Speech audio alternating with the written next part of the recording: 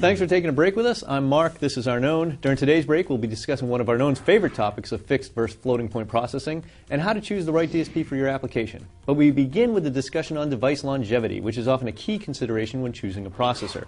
Arnon, what can you tell us about the important topic of TI device longevity? 24, 7, 10. 24 hours a day, 7 days a week, 10 years.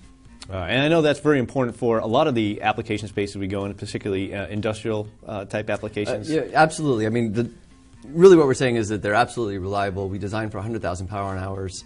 Um, we're going out into systems. Embedded markets are oftentimes out in inaccessible areas. Um, they want to, you know, put that out there once and not worry about it. So 24/7 10 is, you know, really critical in everything that we do in our design. Yeah, and it's sold into like automotive places, sold into uh, mission Factories, critical.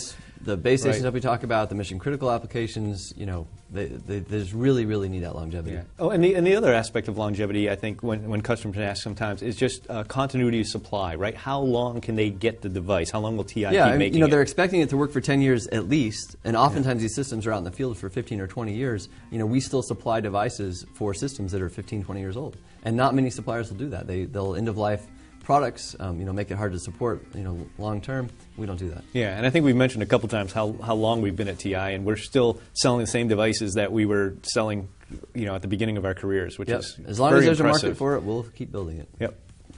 Uh, with TI's introduction of the C66 DSP core, and Mark, I know this is one of your favorite topics, TI combined the floating point and fixed point architectures, resulting in the world's fastest floating point DSP. So, Mark, viewers may not understand why floating point is so important. Uh, so, what can you tell us about that? You know, this is funny that this comes to, to me. This goes back to conversations we used to have 20 years ago about fixed versus floating point, uh, and and which to use. And I guess it be, because historically, right, fixed point processing uh, was a lower power uh, and, It was and easier to smaller. do. Yeah, and and uh, ran at a higher speed, and, and floating point was was bigger and slower. And so there was, uh, you know, but there are end equipment spaces that require floating point for the for its wider dynamic range, the way it expresses uh, numbers, right? And so there's areas, um, military is a big one, professional audio. There's several places where they argue need the precision and yeah, I the mean, back in the dynamic day, range. fixed point was easier to implement. Floating point meant more power, more expensive. You know, with C66, we fixed that. It was the same. We ran at a gigahertz, and you know, this is near and dear to my heart because um, I remember having to take a fixed point processor and implement Here a matrix go. inversion, Yeah. which is high dynamic range, and I had to get this giant book called Numerical There we Recipes in C, which is like the size of a of a Big book. giant dictionary. It was like the worst four months of my engineering career. That was horrible. Yeah, now well, I've been, I've been hearing this story for again. longer than four months, and I thought with our 66X DSP core, we were done with that topic, So, right? you know, We numerical fixed, recipes, you have floating, C, good you got book. it both. Yes. Don't need to hear that story It's anymore. very important, though. Never People need to hear that. People need to know. Never need to hear a People story need to know.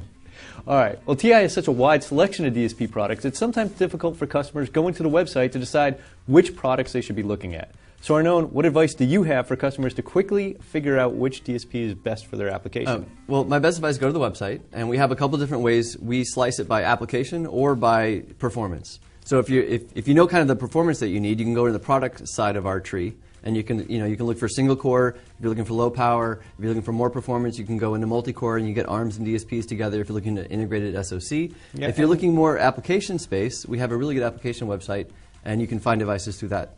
Yeah, so they could look at machine vision, mission critical, those type of application indu- spaces. industrial- When you when you talk about the segments, I think you talk about dividing, but also uh, j- you know just to give people a little insight into the product families. When you're talking like low power, like half a watt and under, right? There's a C5000 DSP family, so yep. looking in there is good. If you go to like the uh, 500 milliwatts to one watt range, there's the OMAP L138. Is, Yeah, is which a great is ARM plus. DSP, or if you just want the DSP, it's C674. Yeah, and then you go into um, single and, and dual core like um, high end DSPs, the C666 The processors. fastest floating point DSP in the world. and fixed point. And then you have, uh, and then when you get into the, the multi-core heterogeneous systems, they have ARM and DSP, right? That's kind of the keystone multi-core DSP segment. So um, if you break down those four lines, those are the four general uh, families that, and then you can obviously sort within each of those. There's a, a parametric tool that allows you to pick your different uh, mixes that you need to see and Yeah, help and you. we're actually spending a lot of time on the website, uh, you know, trying to make it more friendly, more easy to use, easier to find things. And so definitely, um, you know, people out there, if you go to the website, you can't find what you need, please let us know. We're, we're looking to improve it every day. Yeah, this guy's kind of responsible for that, so he'll, he'll be very So responsive. Anything you put blame on the website, send, send I it to will. him. He'll look at it.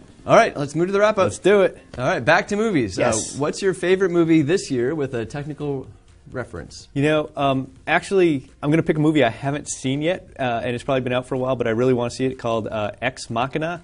Looks really cool. Story on AI. Maybe a little creepy, but looks pretty good. Yeah, I just hope it's not as scary as The Shining. Yeah, it's, it's too creepy. My, my wife won't see it with me, actually.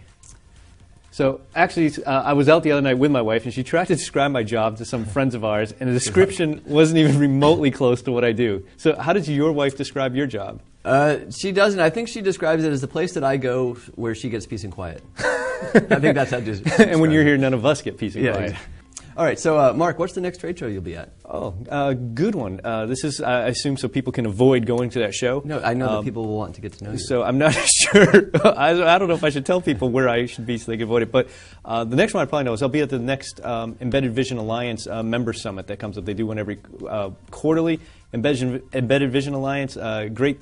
th- Great site, Yeah, yeah. check check out their website to learn about embedded vision. How about you? Uh, no, I'm just sitting here working on the website. All right. Well, we're out of time. Thanks for taking a break with us. Tweet us your questions and comments or anything to do with the website. Uh, use the hashtag DSP Break, and we'll address them in future videos. Um, as always, don't forget to uh, follow us on Twitter. Check out ti.com slash dreamdsp for all the latest info and material on TI DSPs. And to help you remember DSPs, uh, distracting spousal portrayals.